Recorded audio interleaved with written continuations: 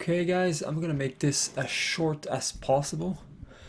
Um, okay, I bought the uh, M1060s like a week ago and the only thing I have to compare them to are the uh, T50s RPs Mark 3s, uh, and they're custom modded with the pads uh, I've put some polyester uh, foam or padding inside with some velcro and uh, this right here which is made of it's not duct tape it's the, the, the paper duct tape whatever you call it and I cut a line.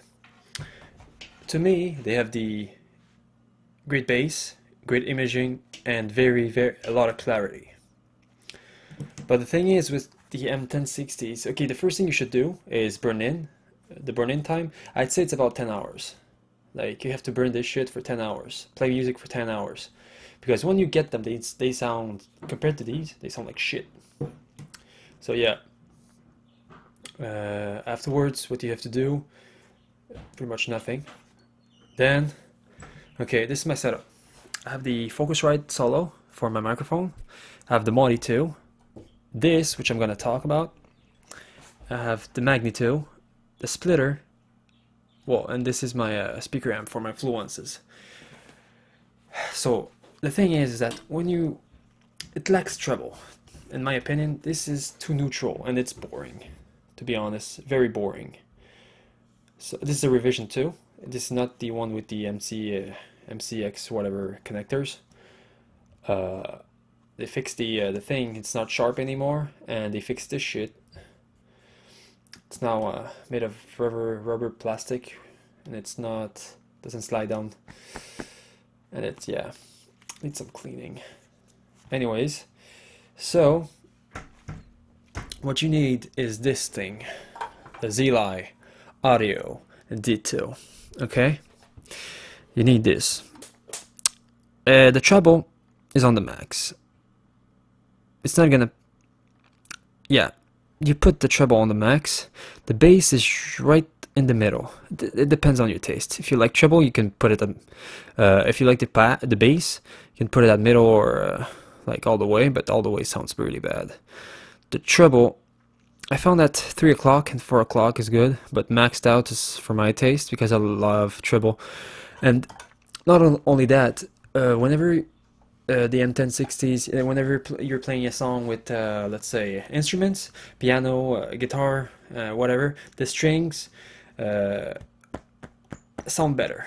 Like there's an echo, it's more, there's more clarity.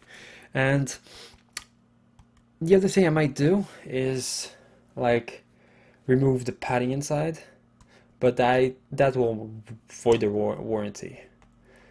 So yeah, I'm not sure. I'm gonna I'm gonna see maybe another time. Anyways, so yeah, the Zhilai Audio D2. These are not the stock tubes. Stock tubes are right here. These are the stock tubes. These bad boys. They sound okay, okayish, but what you need is the Voshkods 6ZH1PEV. Uh, Those right here. I'm, I'm, not sure if this is capturing on the, the camera, but these two, they cost 16 US, and the shipping is supposed to be free. Well, it was free, because this is on ebay.com, but I use the other, because I'm not in the USA. Uh, okay, the price for the Zhilai is $46, uh, $42.80. Pretty much anybody can afford that. And it will transform the M1060s a lot honestly. Because when it's plugged into the Modi 2 directly to the Magni it sounds like shit to be honest compared to these. Because these were modded by myself to my taste. But if my taste differs from yours with the Zhilai Audio D2 you can put the treble and the bass to whatever setting you like Mine's mine mine personally is max treble and 12 o'clock for bass. Max volume, of course. And that's it. That's all you need to fix the M1060s from being neutral and boring. If you have the T50s RPs, Mark 3s, and you're like, okay, this is, it's not worth $300 compared to these, because the difference from these to, to the uh, T50s, I'd say it's about 80%. These are 20% better. And the build is shit, to be honest. Look at this.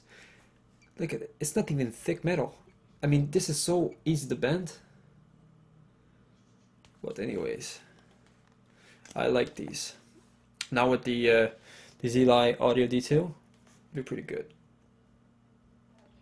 It's worth the $500 I paid Canadian.